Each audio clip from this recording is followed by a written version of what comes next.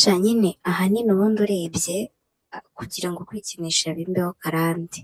Byaturutse mu kwirinda gusambana ni ukuri ni ho byaturutse uretse ko kugeza ubu nonaha wenda byambereye ikindi kintu gikomeye cyane bikambera ikindi kibazo ariko ubundi ni ho byari byaraturutse. Kuko reba ndabyibuka neza mbere na mbere njya kubikora.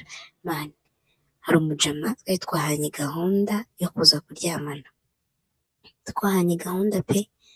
Nanamwiyumvamo ukuntu nawe anyiyumvamo duhana gahunda y'uko nk'ejo nyine ubwo byari uyu munsi.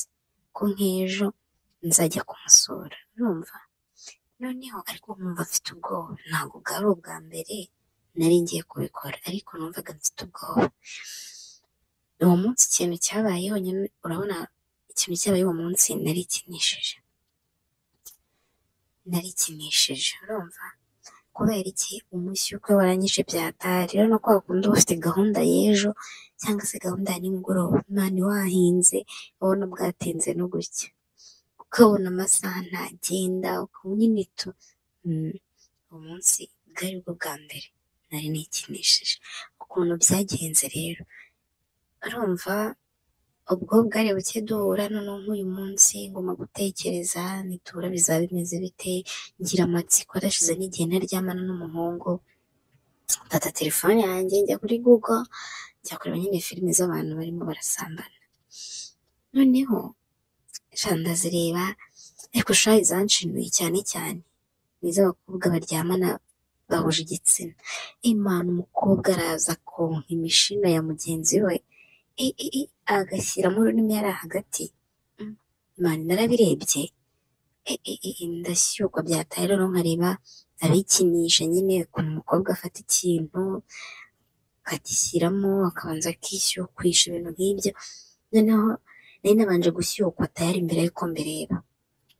Noneho mbirebye mani e, ndashyukwa noneho nkavuga mana nkibaza mani yanjye ubu ndategereza ejo bizagera ryari? Ko uyu munsi ntahita mbwa ngo duhure bitakunda gahunda ari ejo eee mana yanjye umushyuko uranyica byatari.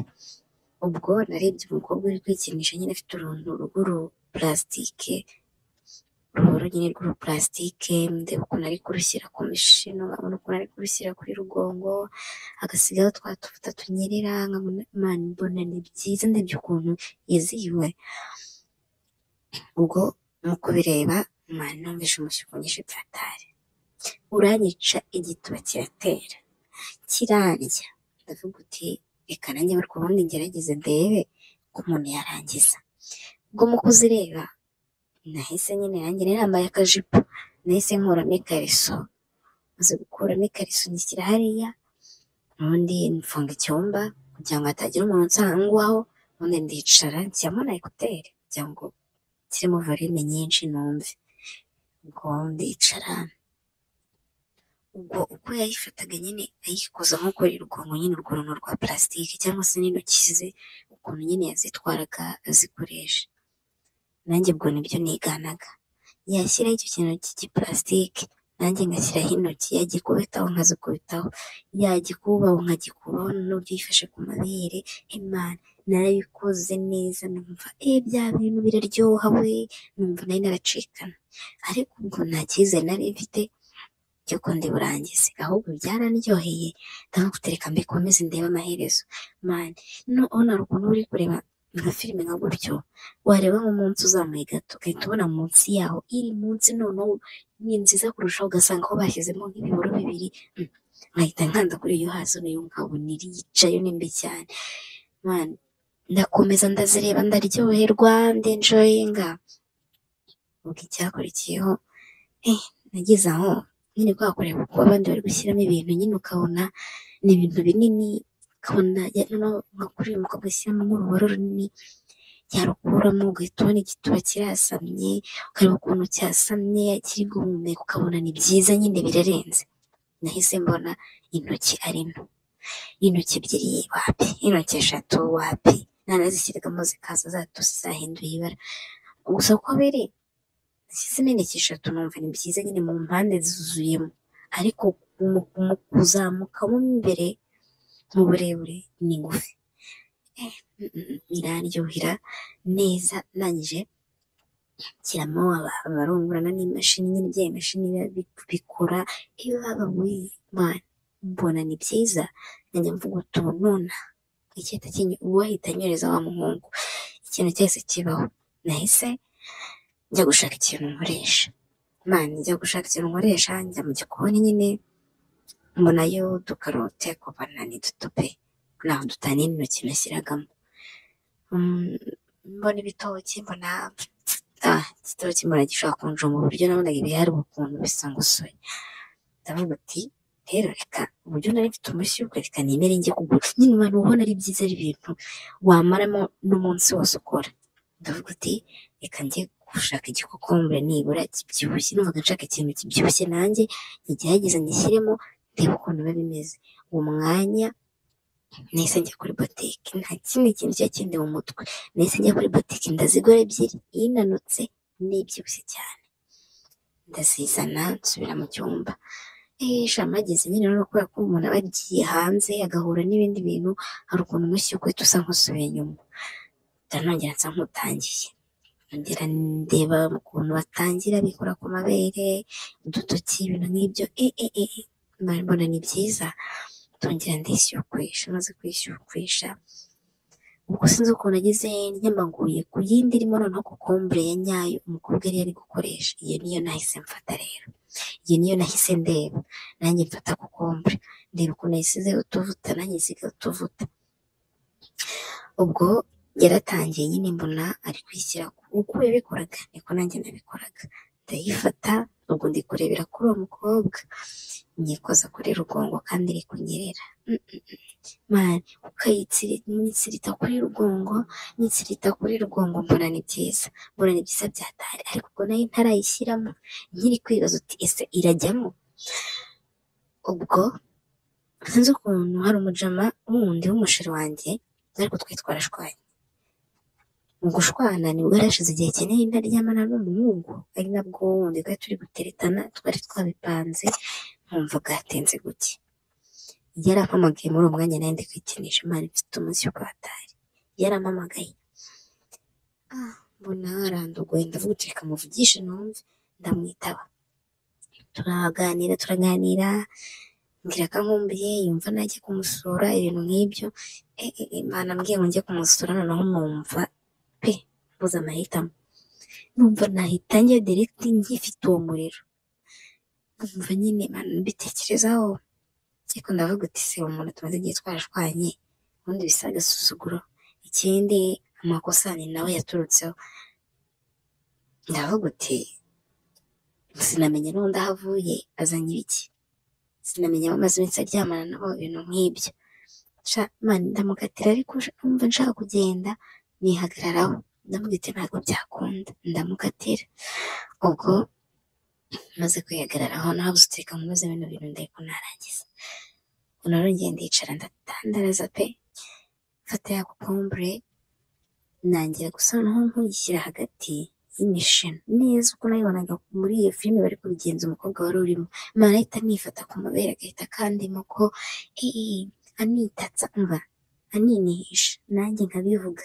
Nitatsa nkine- nkijya nk'umuntu nyine kuriya wumva ni byiza nanjye ndayifata kokombure nyishyira hagati y'imishino ndabanza ndayikirigita noneho nangiye gukora ibintu ntarimo no kureba muri videwo ahubwo njye hari ibyo nakoraga umva ni byiza mu gihe wa mukobwa ari gutinda akishyira kuri rugongo njye nkahita nzunguza nyine kuri ya mishino numva ni byiza ndavuga ahubwo noneho reka nkomeze nyirebe none njye nkomeze nivumbirire utuntu twanjye numva twiza ubwo narakomeje nyizunguza ku mishino nyine nyirigita imishino ni cyo kimana cyari kinini cyari igikokombure kinini kabisa. Imishino wakunda uyisunika igahita ireba mu kirere aho urwaye runini.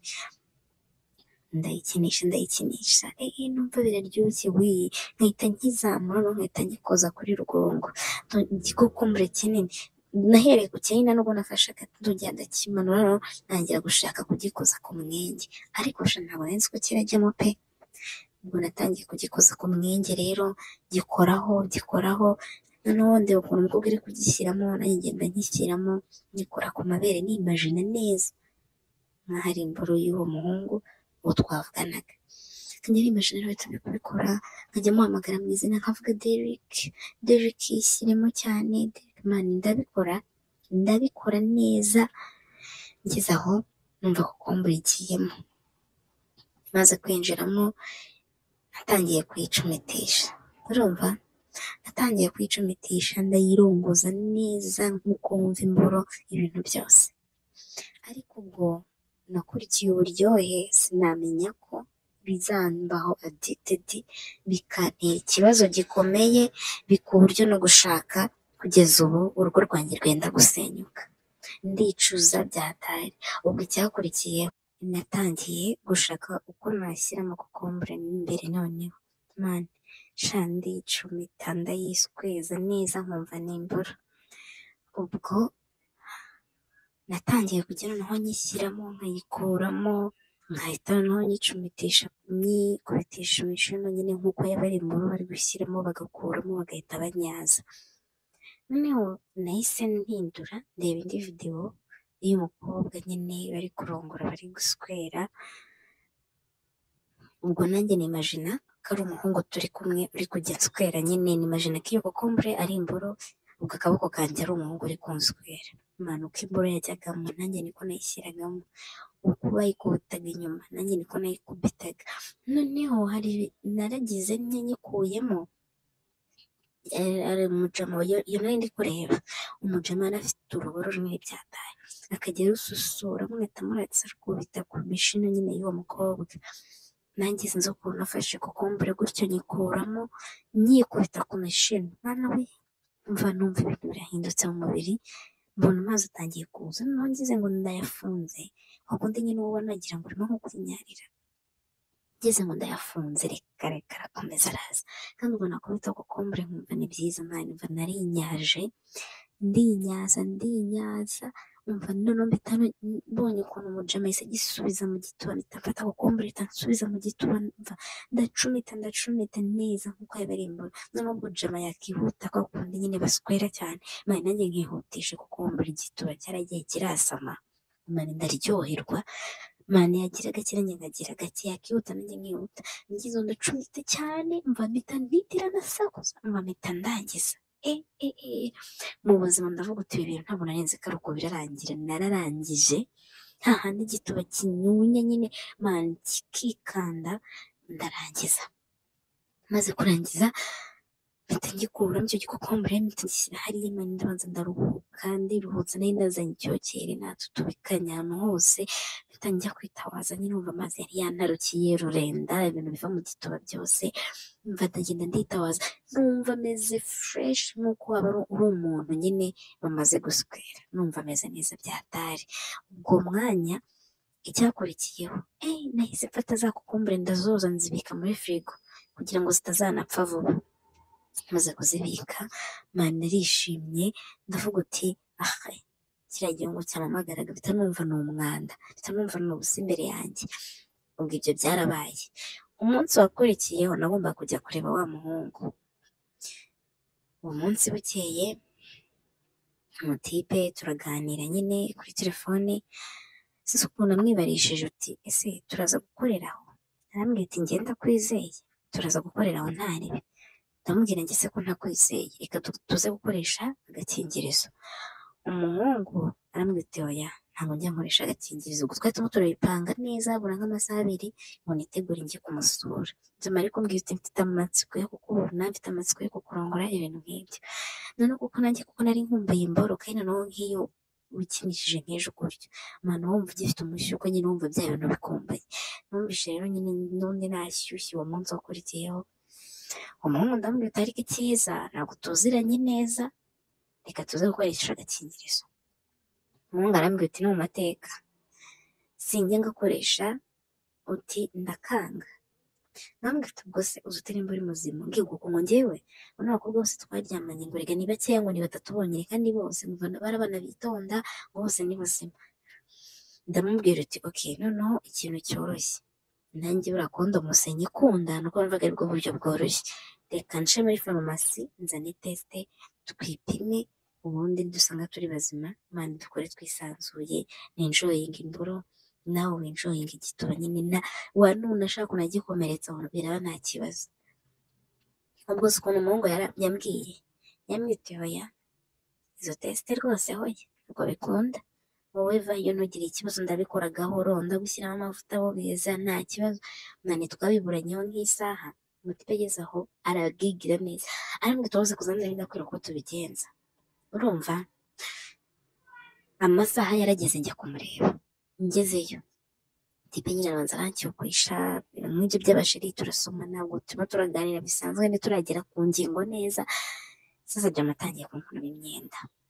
Ubwo naragiye ngezeyo aransoma turyana iminwa nkora ku mabere turimo turaganira ibindi kandi ariko ankora ku tunyonyo noneho kubera ukuntu umwana umubiri wanjye wari ushyushye byatari numva nkumbuye kurangiza.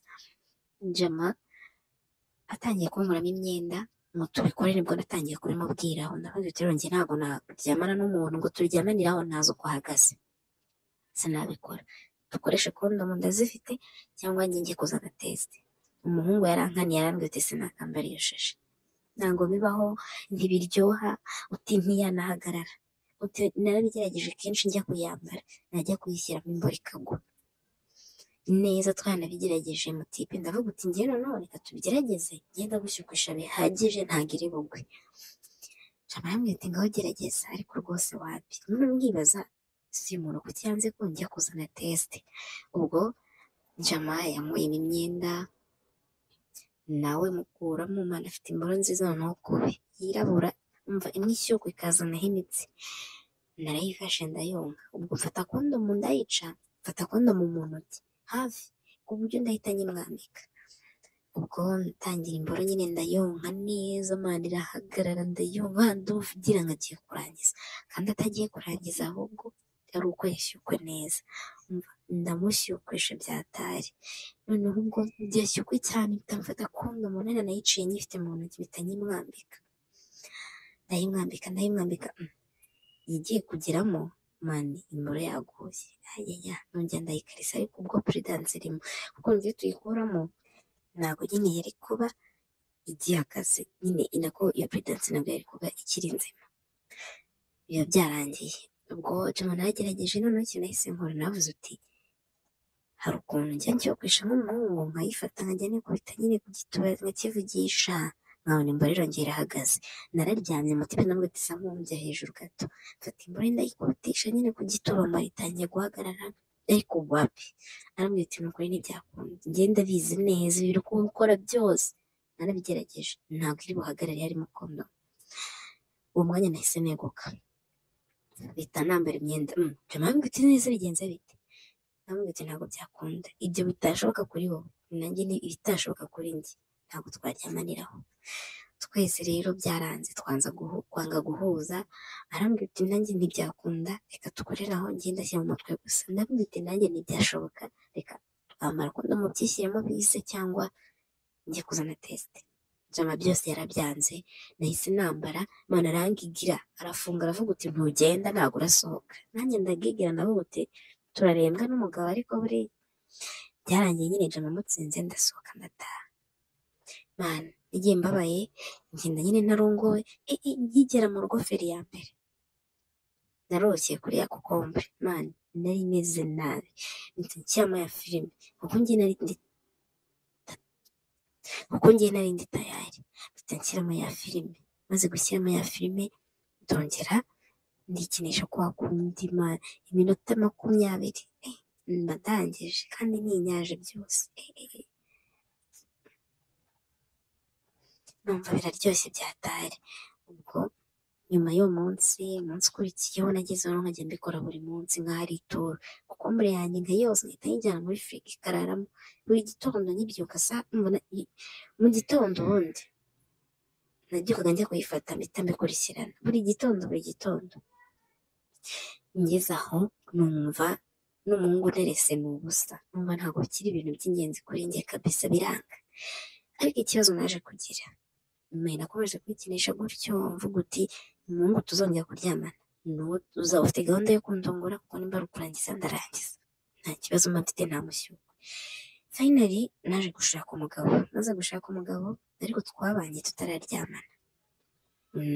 Gusa nyine twarahuraga akantera fenga nanjye nkayonka akarangiza nanjye nkarangiza ariko yari umugabo nyine ufunze umutwe. Nawe uvuga uti nanjye nzaryamana nawe bya nyabyo twabanye. Ariko yarakunze igituba cyanjye avuga uti kiroroshye nanjye naramukunze. Mu kubana rero. Mani umutipe umugabo wanjye twagiye mu- umunsi wa mbere yarandongoye neza birakunda kuko nari mufitiye amatsiko mbese nawe mfitiye amatsiko byari byiza. Ariko ageze ku ituru ya kabiri ndamubwira uti wapi? Nananiwe. Nyuma y'icyo gihe kundongora byaranze ati gute? Umuhungu akuramo imborongo agiye kundongora pe! Nanashye uko mbishaka. Ariko yagira ngo afashe imboro yishyizemo igituba kigahita cyuma neza kikumva ngakora ibishoboka byose nkishyiraho udutoki kuri rugongo umva kikuma neza wapi? Kandi iyo arangije kubikora mba mfite amashyiga ya danje mpita njya hirya muri doshe yaryamye nakoresha intoki cyangwa kokombure nkinayifata mu ntoki kokombure iminota ibiri mba nashyukwe kandi nkayishyiramo ikajyamo inyerera nza gusanga byaramaze kunjya mu mutwe ko kokombure ariyo izajya ituma ndangiza ari izajya ituma ndyoherwa n'imibonano imboro yo ntabwo nyikunda habe na gato nta nubwo inshyukwisha umugabo wanjye arantegura akantegura natangiye gushyukwa nyine ariko yabavuga ngo agiye gushyiramo imboro. None gihita cyuma wapi uko kera nyine nayikundaga ubu byararangiye. Byararangiye ikintu nkora buri gihe ndayikinisha iyo yagiye ku kazi ariko nawe yerutse kumaze uti ufite ikihe kibazo. Kuki udashyukwa kuki utagira ububobere? Ibintu nk'ibyo mba ari ikintu umusubiza. Niba nzamubwiza ukuri niba nzashaka imiti ituma noneho nagerageje igihe n'ibintu byose hari imiti iba ndangiye ngo yongera ngo ububobere mu gitsina ibintu nk'ibyo kugira ngo umugabo wanjye nazajya nkarisa nzajya mpita nshyukwa vuba. Ariko buri gihe iyo ari kunkarisa njye ntabwo nshyukwa. Ikintu cyonyine kinshyukwisha cyakoze mu minsi yashize mperutse kugenda mfite telefone. Mera nk'uri kwikinisha nyine umugabo wanjye yaragiye kuryama mbwira uti banga ukuze turyame njya muri dushe nza nk'ukinishaho gato ndeba nyine ziriya filime z'abantu bari gusambana. Eh numva ndashyutswe nava gutereka ngende noneho gutya ndi tayari mpita ngenda. Umugabo turakarisanya kumugunge nabaye tayari kare. Niwe usigaye. Nawe ndamukarisa ahita ashyuka agiye kubikora nyine. Yumva igituba kirashyushye cyazanye ururenda. Mm. Arishima arambwira ati ndabona none uyu munsi umeze neza ndamubwira ati shana mvuga ngo ukumva mbaga mbishaka. Tugitangira kubikora yashyizemo imvura iragenda inyerera. None yumva kiranashyushye yumva nashyutswe noneho byanyabyo ashyiramo ashyiramo ashyiramo nko mani hashize umunota umwe ibiri. Cyahise cyuma. Neza. Mpita mbona ko imboro atari ibintu byanjye. Amurambaza byari byagenze bite se basi Kugeza uwo munsi namubwije nari narebye nyine agafilime bari kubikora. Ubwo yatangiye kujya ambwira uti buri gihe tugiye kubikora jya ureba filime cyangwa se tuzishyiremo hariya tubikore uri kuzireba ariko ndabona utankunda kuko ntabwo numva ukuntu umuntu ukunda atagutera santima none twatangiye kubipfa dutangira kubipfa kabisa biba ikibazo. Ubwo umugabo wanjye akajya barimo kuyishyiramo nkafata telefone neza gutya ndi kureba filime y'abantu bari kubikora icyo gihe ntangira kujya nshyukwa ariko ni hahandi ntabwo narangiza ntikinishije. Ntibibaho. Ndagira ngo rero basi mwebwe basi mungire inama mwe mufite ikintu mubiziho umutima wuhe nzabwize umugabo wanjye kuri ko ari uko nikinishaga. Njye mufasha arangize maze nikinishe azabyemera. Kuko na gutyo iyo ndebye iyo filime turi kubikora nkayireba ndashyukwa ariko n'ubundi ntabwo ndangiza. Gusa icyo gihe nshyutswe abikora neza akishima akambwira uti ndabona akambwira uti ndabona ari byo bigushimisha ariko ntabwo ibintu bye mbikunda mva byambereye ikibazo ku buryo ntazi nonaha ikintu nakora. Ese ubundi abaganga barabivura nyine ku buryo babigukuramo kwikinisha nyine bikakuvamo burundu. Ukongera ugasubira normal umugabo yagukoraho ugashyukwa imburu yakujyamo ukarushaho gushyukwa nyine bibaho babivura